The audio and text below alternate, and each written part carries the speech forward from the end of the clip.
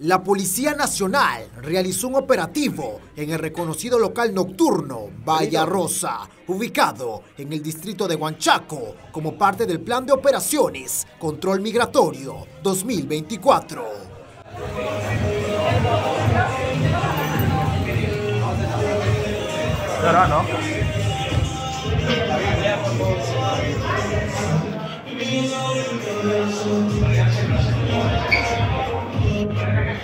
Durante la intervención se detuvo a nueve extranjeras que se encontraban en el país de manera irregular.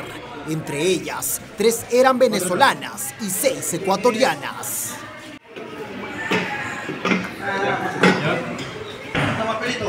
A ver, démelo. Otro, otro. Este operativo es parte de un esfuerzo más amplio para abordar las irregularidades migratorias en Trujillo, una ciudad que ha experimentado un aumento significativo en la presencia de migrantes. Las detenidas fueron trasladadas a las autoridades correspondientes para su adecuada regulación y procesamiento.